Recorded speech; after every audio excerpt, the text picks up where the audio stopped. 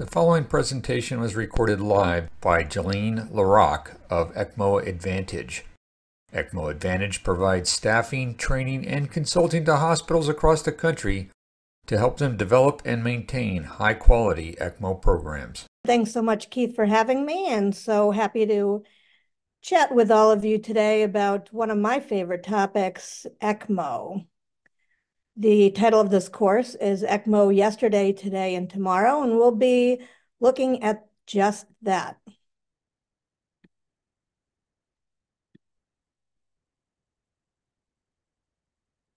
I may be dating myself, but for my fellow Gen Xers out there, the picture on this slide is the nothing from the never ending story. And while I am the director of sales at ECMO Advantage, we won't be talking about that today. And so I have nothing to disclose.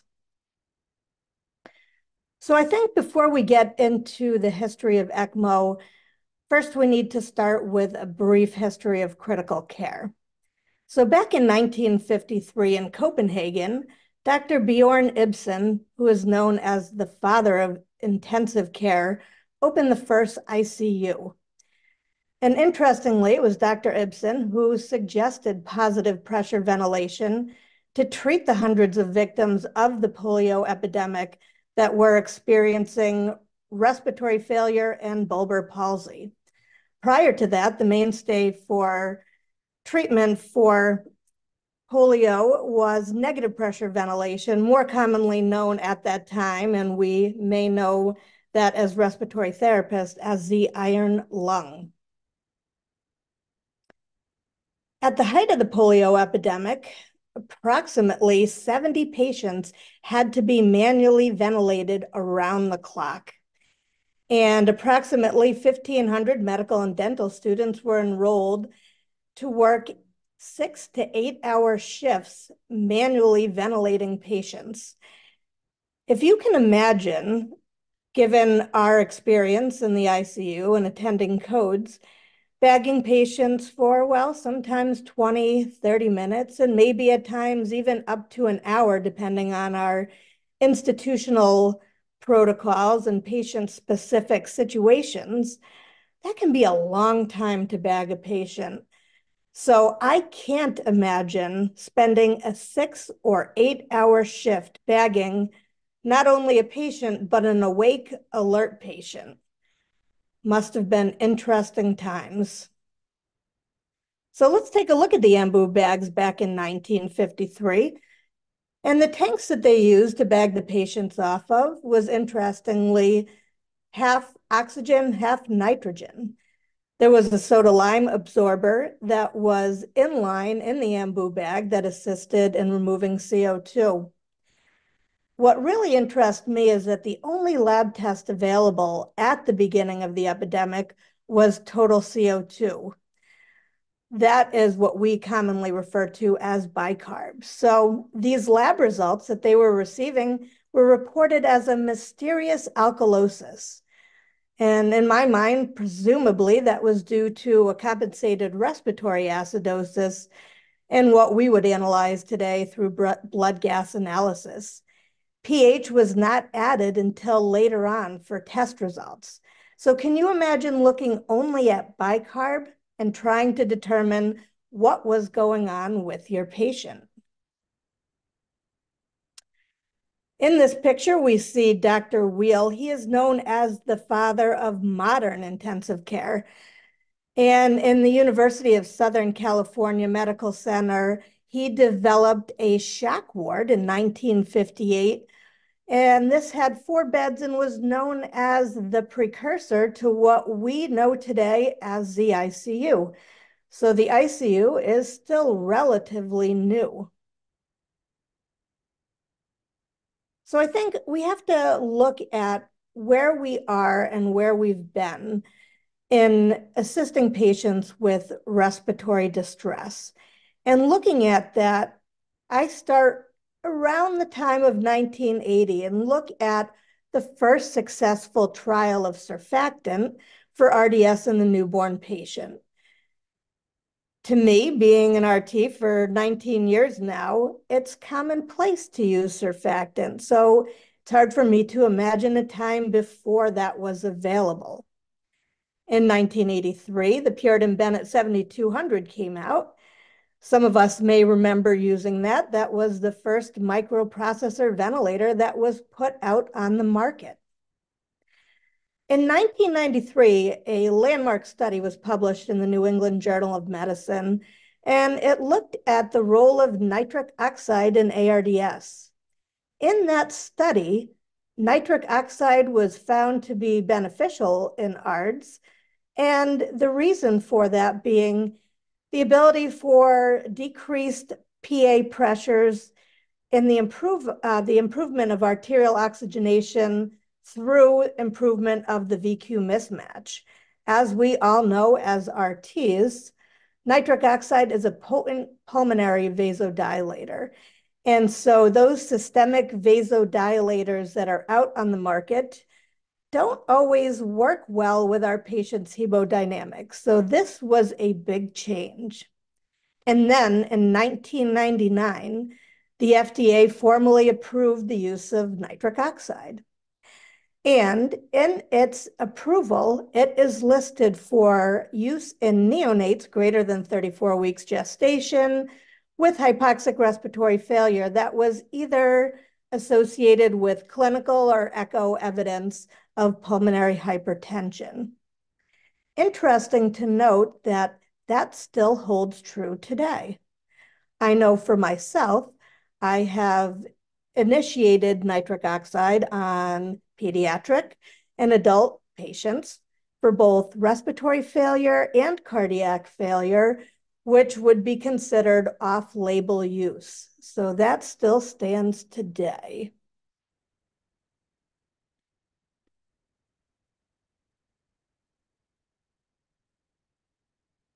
So, excuse me. So now that we've talked a little bit about the brief history of critical care, and that was just a very short overview, let's take a look at a brief history of extracorporeal support.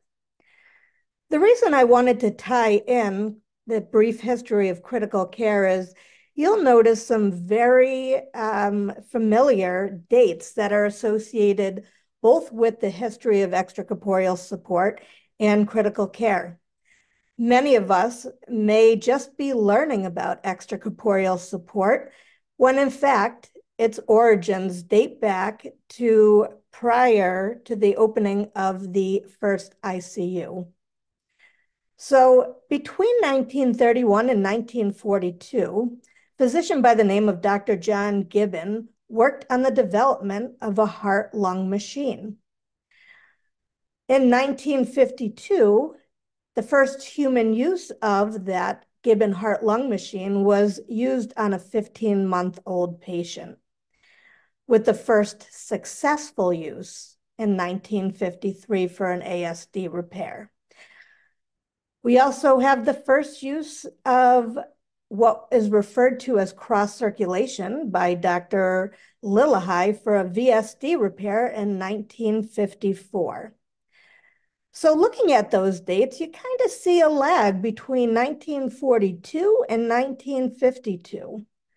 Well, in January of 1942, during World War II, Dr. Gibbon volunteered for enlistment in the Army, where he served in the South Pacific for the next four years. So that halted his work on the heart-lung machine.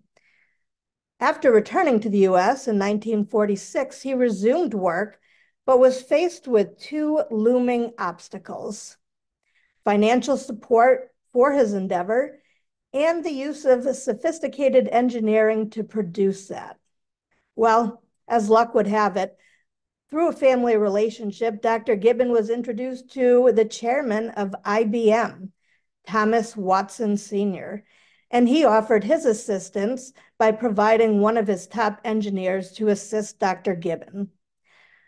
With added clinical support from surgical residents, and after great progress with his heart-lung machine in animal experiments, Dr. Gibbon felt it was time to trial his device on a human, and that is the 1952 that we see on the screen.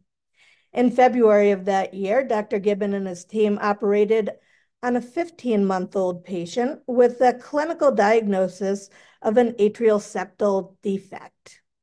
However, once they put the patient on bypass, opened the chest, they weren't able to appreciate any ASD.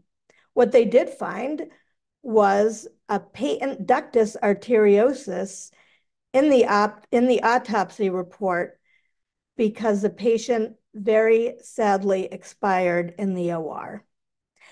It's important to note that at that time, cardiac catheterization was in its very infancy. Dr. Lillehei, who is known as the father of open heart surgery, and his team performed open heart surgery using a procedure that was quite unusual at that time. He performed cross circulation, which is a procedure where one individual provided oxygenated blood to the other undergoing open heart surgery. This method at the time was an innovative way to keep the cardiac patient's brain and vital organs working while doctors stopped blood flow to the heart for the repair. In most cases, as it was in 1954, the surgery was performed with a child and having the patient, uh, patient's parents supporting by being that oxygenated blood donor.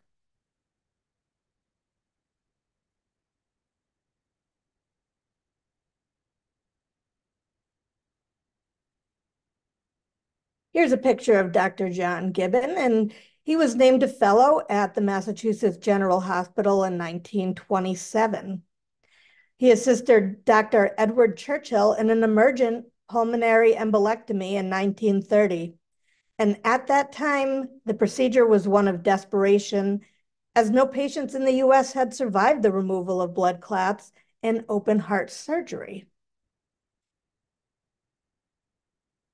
As Dr. Gibbon recorded the patient's waning vital signs prior to the procedure, he thought, if only we could remove the blood from her body by bypassing her lungs, oxygenate it, and return it to her heart, we could almost certainly save her life. Well, despite a successful removal of large clots from the patient's pulmonary artery, the patient never regained consciousness. This profound experience would forever change Dr. Gibbon and stimulate the idea to create a device that at the time sounded audacious and impossible. His device would temporarily take the role of both the heart and the lungs to make repairs inside the heart or the great vessels.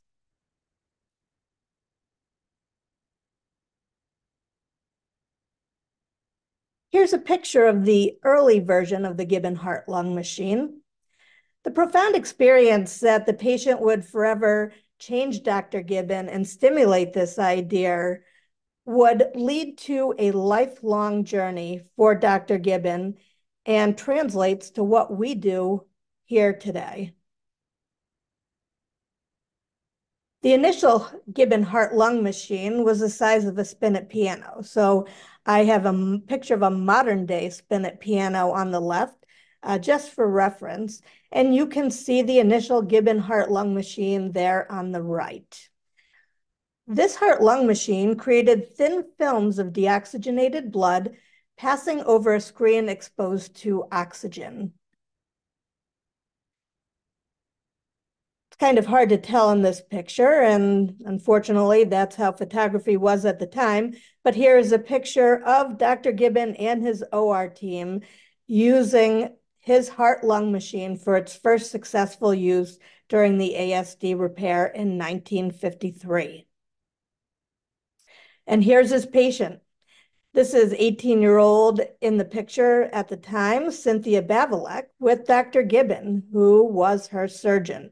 This is that patient who had the first successful ASD repair in what we refer to as on pump or cardiopulmonary bypass talked a little bit earlier about Dr. Lillehei and his interesting use of cross circulation in 1954. He had an 11 year old boy who was undergoing a repair of a ventral septal defect. In this procedure, he used cross circulation where the patient's anesthetized father served as the oxygenator. As you can see in the picture, there are two teams. So the team on the right and the table on the right in that picture is the patient's anesthetized father, where you can see the OR team working on the patient on the left. Blood flow was routed from the patient's caval system to the father's femoral vein and lungs, where it was oxygenated, CO2 was removed, and then the blood was returned back to the patient's carotid artery. Seems a little bit like mad medicine, but in fact, it wasn't that long ago that this was being used. So now let's take a brief look at the history of ECMO. Well, in 1971, the first successful use of ECMO was for a young man who was in a motorcycle accident, suffered a ruptured aorta, and was in ARDS. Now, at that time, we didn't have the term ARDS, and they were not sure what was going on with the patient. However, his physician did know that with the mechanical ventilation they were providing, this patient was not long for this world. She called a physician by the name of Dr. Bob Bartlett to see if the machine he was working on was ready for use. Dr. Bartlett said, Well, my machine is not currently uh, seeing successful results in the animal population, but I've got a friend, Dr. J.D. Hill, who I believe his machine may be ready for use. Dr. Bartlett referred this patient's physician to Dr. Hill, who threw his machine in the back of his car and drove it down to the hospital where they initiated support on the patient. In 1972, we have the first successful pediatric ECMO patient that was placed on VA ECMO following a Mustard procedure for transposition of the great vessels. And where ECMO really started to take off was in 1975. In 1975, the first use of ECMO for a neonatal patient in respiratory failure after meconium aspiration was achieved. Here's a picture of that first patient back in 1971. The adult, young adult who was in a motorcycle accident and was in ARDS after a repair of his ruptured aorta. It was a successful run lasting approximately 75 hours, and the patient was decannulated and survived. Now, if you can imagine looking at that picture, that is a lot different than what the ECMO machines we see in the ICU today look like. Here's a picture of the first pediatric survivor. So in 1972, when this young patient underwent the Mustard procedure for the transposition of the great vessels, he came out of the OR post-op. He was acidotic, he wasn't making urine. And so, as a last ditch effort, they cannulated him for VA ECMO. Well, after a short run, a little over 36 hours, he was successfully decannulated and is still doing well today.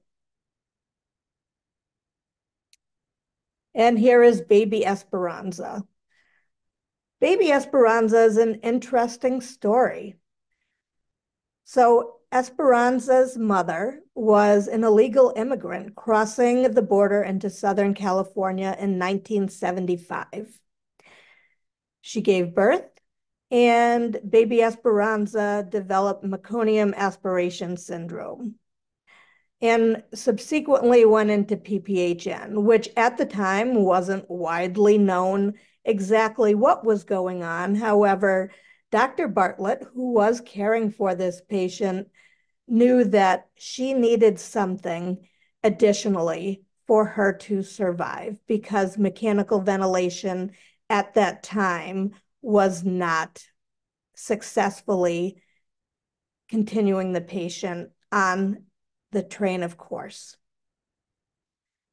Interesting to note that Dr. Bartlett called the mother in to sign the paperwork as this procedure had not been trialed successfully on a neonate at this time. Well, the mother, being an illegal immigrant, uh, was understandably scared. She fled from the hospital and with no other family members around, Dr. Bartlett and the team decided they would place her on ECMO. Her medical team named her Esperanza, meaning hope. And after 72 hours on ECMO, she was successfully decannulated and she is still alive today. Now, back in that day in 1975, if you remember the history we talked briefly about earlier, well, we didn't have surfactant for use. We didn't have inhaled nitric oxide. And so a lot of the mainstays that we may take for granted as respiratory therapists today were not available. And this is where ECMO really got its start and was the hero because as we may or may not know, ECMO does not do anything. What it does is buy time for the patient to either get better or as a bridge, whether that's a bridge to heart transplant, lung transplant, could be a bridge to recovery, or even a bridge to decision. What will we do with this patient moving forward? And here is the man, the myth, the legend, the father of modern ECMO, Dr. Robert Bartlett. Interestingly, a few years ago, Dr. Bartlett was quoted as saying this The most useful part of all this research, and this research being ECMO, has not been to save thousands of patients, but the things we've learned about acute lung failure and acute heart failure that we now apply earlier to those patients. So our most successful patients are the ones who are referred to us for ECMO who get better without it. And I thought that was a really telling quote to hear from Dr. Bartlett, who devised this modern technology that we know today as ECMO, and that he refers to not just the heroics of the machine itself, but what we have learned as a medical society through the research and the use of this highly specialized life support equipment. ELSO. You may have heard of ELSO. ELSO is the Extracorporeal Life Support Organization. Back in 1989, a steering committee was formed and the bylaws were established. ELSO, you can think of kind of as the governing body for ECMO, similar to AARC as the governing body for respiratory therapy. It began in the United States and has now spread globally. There are chapters that reach each continent. And as of this week, we have over 1,200 centers worldwide that have registered their ECMO programs with ELSO, which is pretty impressive. Here's a picture of a good friend of mine and mentor in both ECMO and respiratory care, Steve. In the early 1980s, when the hospital that I worked at in Boston decided that they were going to take on ECMO, my director at the time sat in a meeting with other hospital administrators and it was discussed who would take on the role of this ECMO specialist. Well, my boss at the time, who is a pioneer in the field of respiratory care, and a man I miss greatly, Dr. Robert Kacmarek, he stood up and said, We'll take it. And I remember talking to him about this a few years ago, saying, How did we get the ECMO team established as a respiratory therapist based program? And he said, Well, I stood up in a meeting and said, We'll do it for free. And God love him, that's what he did. And he worked to create other FTE positions, doing random things from biomedical engineering that we were responsible in the overnight shift to occasionally troubleshooting uh, heating blankets and cooling blankets to be able to get those funds so that he could provide us with an additional incentive.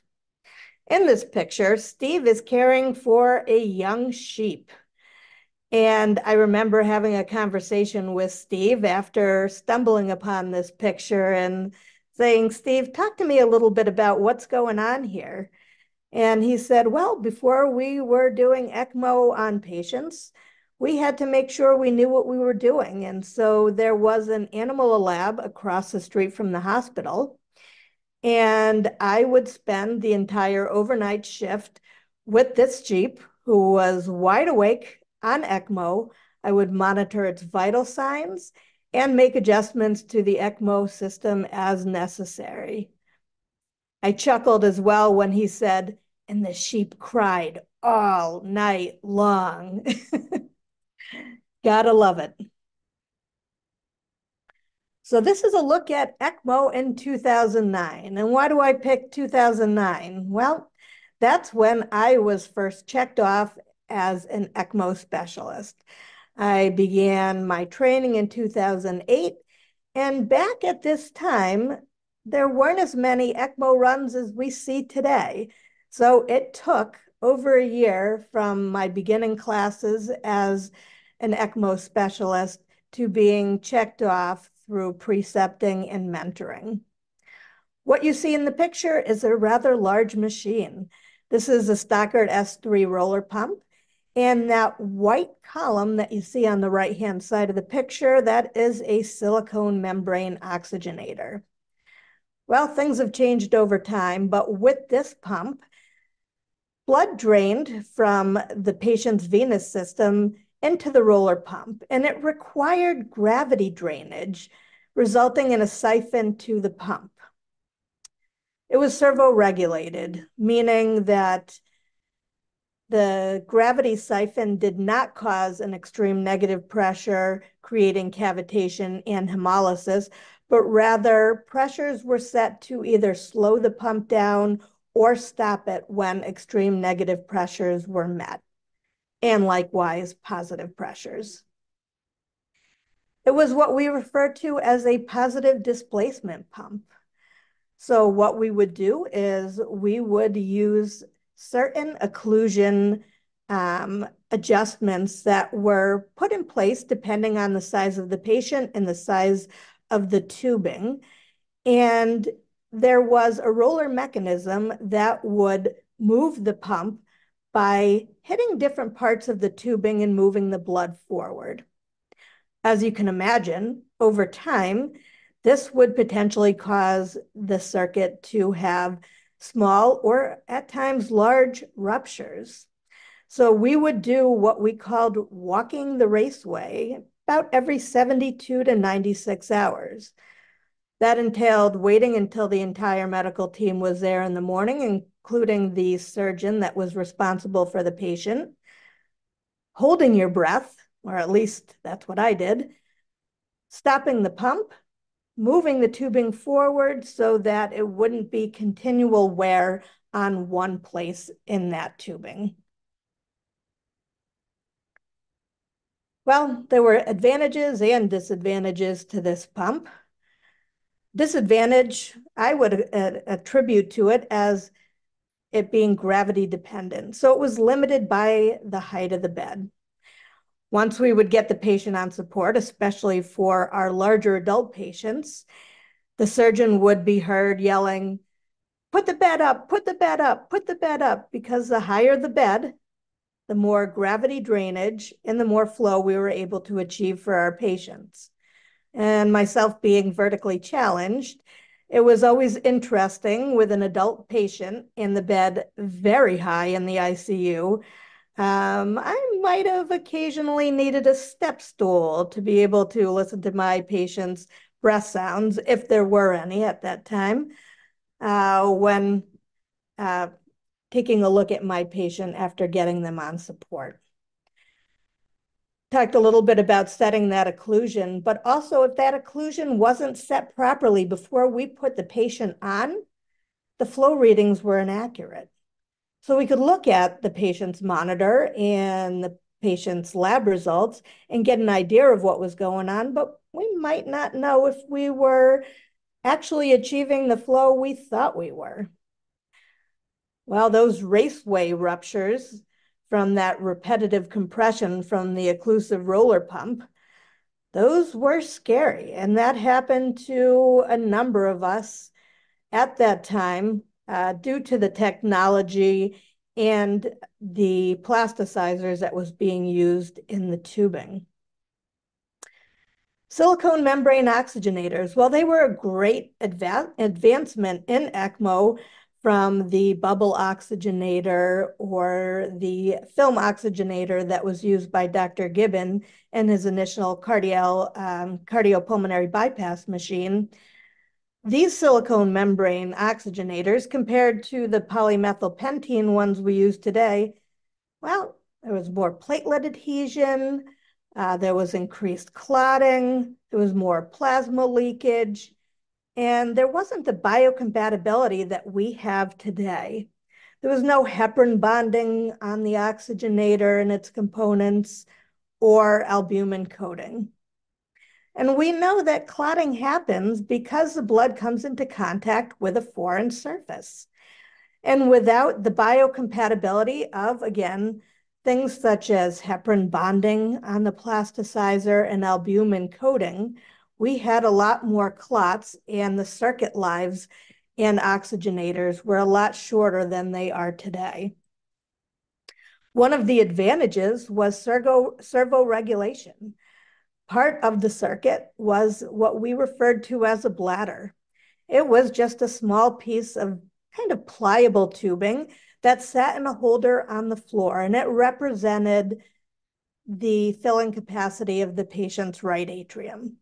And it would be that limiting uh, negative pressure, which in turn uh, would generate either a slow or a stop based on what our settings were for negative and positive pressures.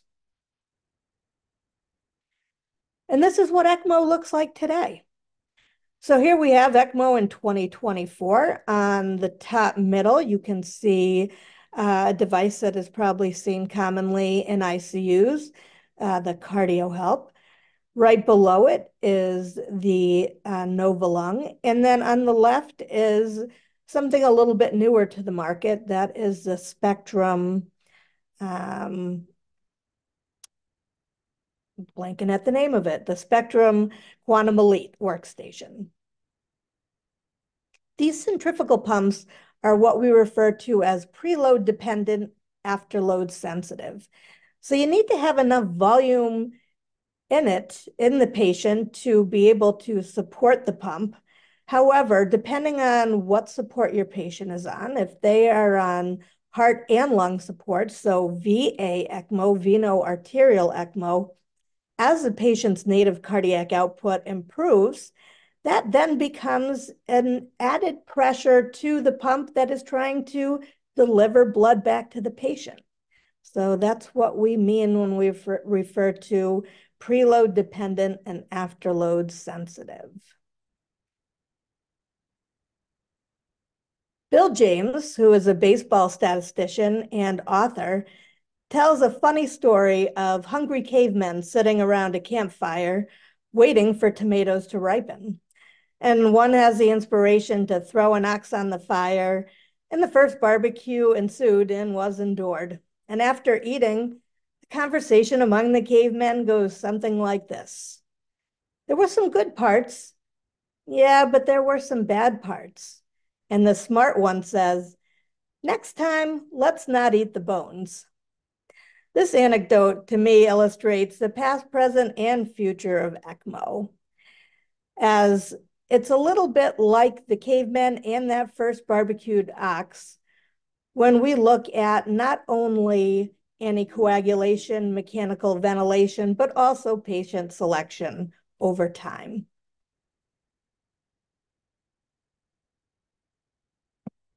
Rooted in cardiovascular surgery's holy grail of learning to repair arts, extracorporeal life support today is a result of well over half a century of passionate commitment.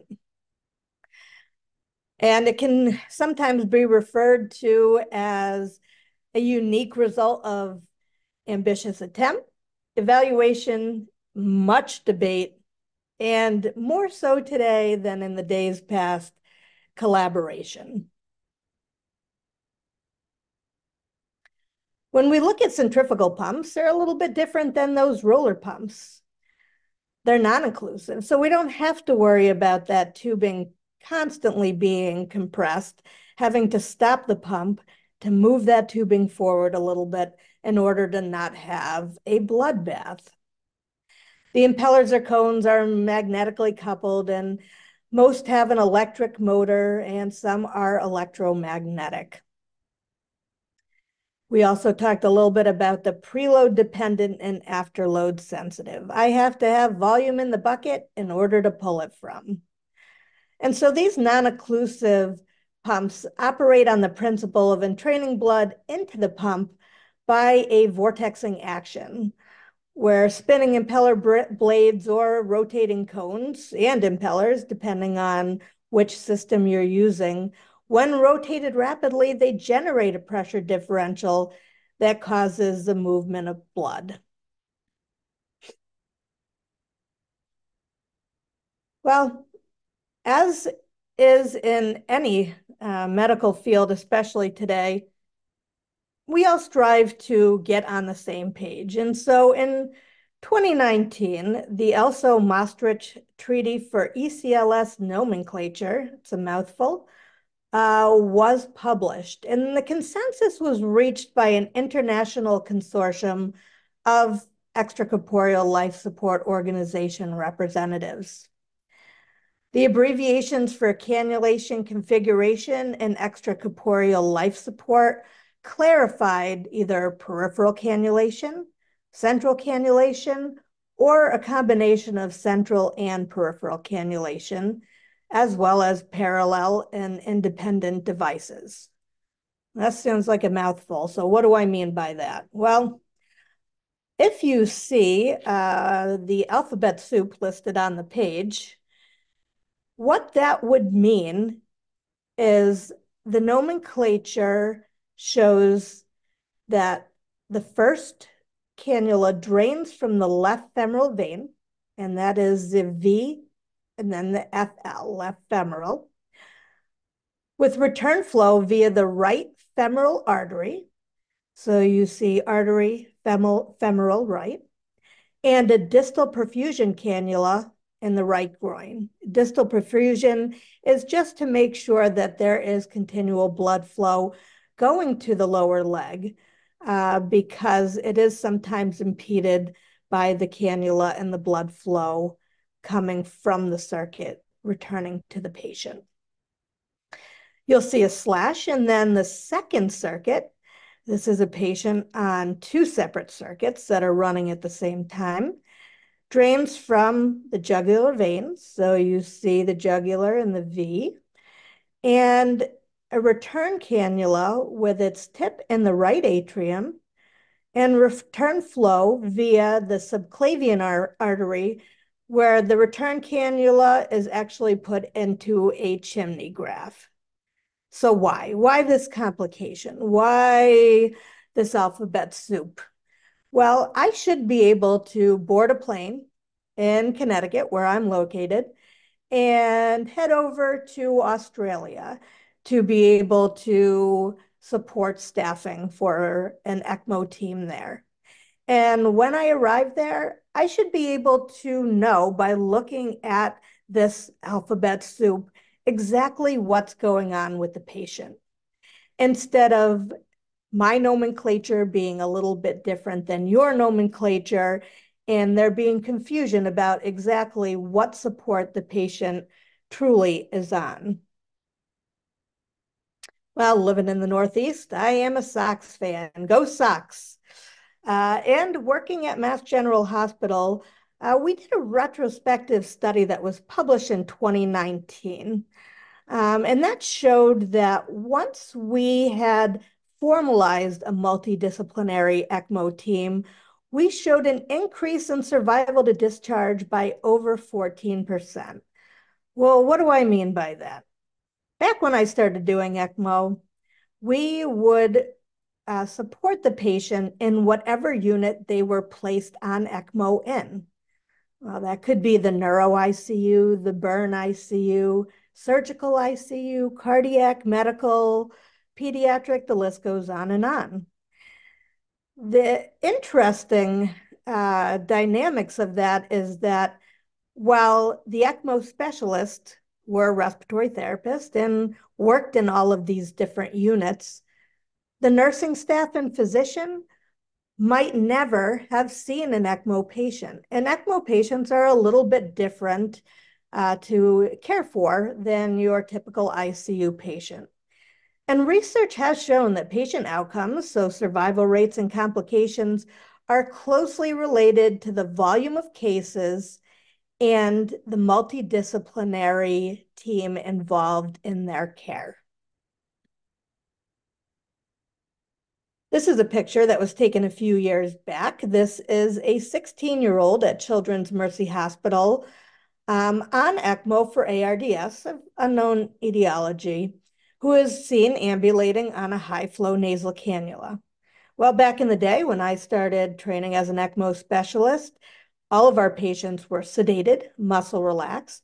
We didn't change uh, the bed sheets. We didn't turn the patient unless the surgeon and the entire medical team is here. We never would have considered extubating a patient. And so we can see that it's really evolved over time. And early mobilization on patients is so very important. We really must aim to see patients thrive, not just survive post ECMO. So what does the future of ECMO look like? Well, there's a lot of thoughts on this. So there's the thought that total automation and servo regulation uh, will be the wave of the future, in which the system will adjust its pump flow and sweep gas automatically to maintain a desired set of physiological parameters, and doing so in a safe manner wearable VV ECMO devices. And we'll see that coming up in an oncoming slide, but that's also something interesting to consider moving forward. Seeing circuits and their components with increased biocompatibility. Well, we do know that nitric oxide is found in our tissue endothelium, and that helps with platelets sticking to our vessels. So it has been investigated, it is currently being investigated to produce a nitric oxide eluting plasticizer that will be built into not only ECMO circuits, but their components, such as the membrane lung and the pump head. ECMO specialists no longer required to sit at bedside. Mm, that sounds interesting as well. Well, the thought is that ECMO will potentially be run by the bedside nurse, but that there will be a need for more highly trained ECMO specialists as not only the supervising team, but educators and managers of circuit emergencies. So kind of, I like to equilibrate that to mechanical ventilators, right? When we are taking care of patients in the ICU, we might be responsible for three, maybe even 10 ventilators. We're not going to sit at the bedside one to one with each mechanical ventilator, right? we have the nurse at the bedside caring for the patient.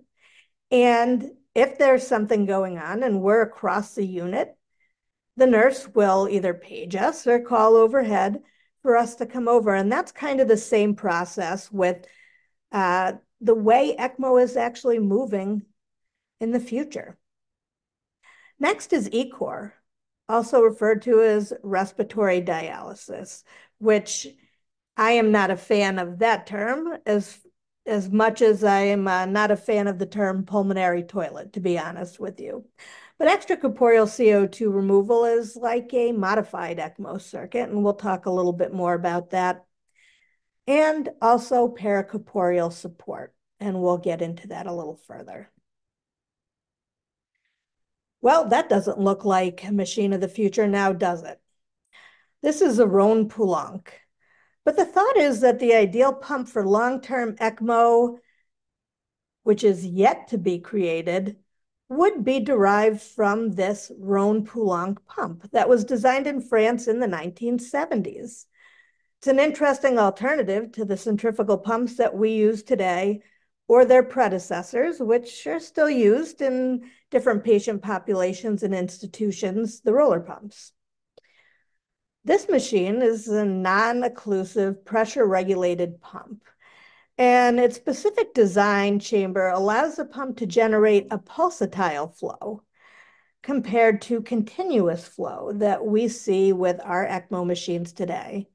The advantage of that is reducing hemolysis, could act as a bubble trap, and really making it inherently safe. And this is a template for that type of pump that is being worked on, uh, referred to as a peristaltic passive filling paracor paracorporeal design pump, which is a mouthful that essentially says it is one that is pulsatile, servo regulated, and totally automated uh, that will have algorithms built into it based on feedback from the patient. Well, here's that wearable VV ECMO device. Um, unfortunately, in a surprising turn of events this week, the manufacturer of this device uh, let the global community know that this product will be coming to end of product life at the end of this year so that they can focus on their new cardiopulmonary bypass machine that has recently come to market. But it's an interesting prototype and one that I'm sure we will see more similar things come out in the future. Talking a little bit about that nitric oxide uh, as an inhibitor of platelet activity through cyclic GMP mechanisms, well, that, you know, that's a little bit, I think, over my head to get into the description of it, but just know that that is part of our overall uh, process in our natural tissue endothelium. And some may say that we're not ECMO specialists, but we are endotheliologists. So there is a fine line between clotting and bleeding in ECMO, and we are trying to prevent the patient from either bleeding to death or clotting to death. And those biocompatibility and anticoagulation factors are something that we continually look at moving forward. So look at those uh, people all in that heart. So that is me and the ECMO team at Mass General Hospital uh, a number of years back uh, out as a team building at a Red Sox game. We talked a little bit as ECMO specialists will maybe not be at the bedside per se, sitting one-to-one with our patients, right, moving forward. As an ECMO specialist, uh, when I was clinical at the bedside, we were responsible for up to three ECMO patients at a time. However, due to staffing constraints, or I remember one night shift starting with three ECMO patients, and by the end of the shift, I had five because we had put three other patients on throughout the course of the night shift, and staffing had changed a lot. But just know that there are a lot more paths opening up, and many that are in this picture today have moved on and are either ECMO coordinators or clinical specialists for medical device company or consultants and maybe even sales directors like myself for independent ECMO companies. Here's a look at eCore. And again, uh, the company that has designed this one device that is available in the US has sadly said that it will come to end of product life similar to the other device uh, at the end of 2024. Um, but what it is really looking at is either the ability to uh, completely bypass mechanical ventilation or use it as an adjunct and get ventilator settings down in some of our patients that are very difficult to treat. So think of your COPD exacerbation uh, patients. When they come in in an acute exacerbation, most of us know from experience, once they get intubated, they are very hard to get off the ventilator. So that is the thought process behind eCore. It is much lower flows than we provide in ECMO and is simply uh, used for CO2 removal. Supernova trial came out a few years back, and it actually showed that using this eCore device um, showed a 73% survival rate at 28 days and 62% survival rate at hospital discharge for those enrolled. So something that falls into our wheelhouse as respiratory therapists. It'll be interesting to see how this progresses moving forward. Another trial that is currently closed but has not been published yet is the Ventavoid trial, and that's one that is being uh, processed in the United States. So it's hoping to show the feasibility of ventilator avoidance primarily in the treatment of acute exacerbations of COPD. The intent is to enroll 40 hospitals and up to 800 patients to get a clear picture of how this can be beneficial for especially that patient population. When we talk about paracorporeal support, paracorporeal, extracorporeal, pretty interchangeable. We hear the word paracorporeal more with LVAD, so left ventricular assist device, and we hear extracorporeal, of course, more with ECMO. But they both refer to having most of the device outside the body, with that piece inside the body being the cannulas in the patient's vessels. The paracorporeal Ambulatory Assist Lung, or PAL. Uh, the development is underway at the University of Pittsburgh, and that's through a grant through the NIH, the Nas National Institute of Health. And it's intended to support longer term, so they're thinking up to three months in a patient while awaiting transplant. When you think of cardiac support, we're able to send our patients home with LVADs. This is along the same lines but for those patients uh, awaiting lung transplant.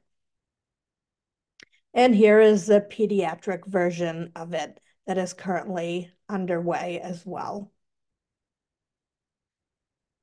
This is a picture of ECMO being instituted in the subway in Paris. So eCPR might be a term that you're hearing more frequently, extracorporeal CPR. Uh, this was actually uh, a team that was deployed in Paris. Interesting to think of where uh, ECLS is moving forward. How about in the Louvre? Can you imagine assisting a team, uh, putting a patient on ECMO with the Mona Lisa, maybe hanging off to the side? And what about this? This is a design currently being considered, and it involves a semi-truck tractor uh, attached to a large ambulance. So it's similar to an expandable RV, if you want to picture that in your mind. Fully equipped with lights, sirens for emergency response, and it will have hydraulically activated RV-type sliders that when, when deployed, uh, will transform the ambulance into a fully functional cardiac cath lab. And they have something similar to that currently in Minnesota.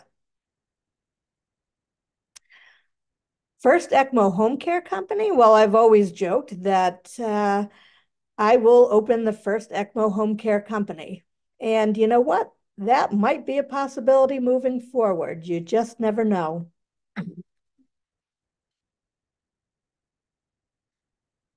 Interestingly, at the end of last year, in December, the American Heart Association, who had recommended that eCPR, so extracorporeal CPR, could be an adjunct therapy um, when looking at ACLS, now has changed its uh, thoughts based on some new studies uh, done especially in Minnesota by Dr. Yannopoulos and his team, and has actually moved it up so that it can be re reasonable and not just something considered uh, moving forward. So that's a big step for ECMO and the eCPR uh, Society. Here are some of the RT ECMO specialists uh, that I have worked with that really talk about how becoming an ECMO specialist has really changed their career, expanding either their clinical practice and knowledge or moving from home care into neopeds and then ECMO, and continually learning, which is something that we will all do in the medical field. So if you're unsure about where your career path will lead you as an RT, I encourage you to consider ECMO. We are seeing more opportunities for RT ECMO specialists outside of the hospital as uh, ECMO continues to uh, gain popularity and improve outcomes for our patients. So in essence, think about choosing ECMO as part of your career path because the sky is the limit. And I'll end with uh, this picture, which I find uh, interesting because it kind of uh, takes a look at both sides of the RT, both uh, as a bedside RT and the ECMO specialist. As an RT, we're excited for air to be moving in a patient's ventilator circuit. As an ECMO specialist, we are terrified to see air uh, in our ECMO circuit. And with that, I will conclude. Thank you so much.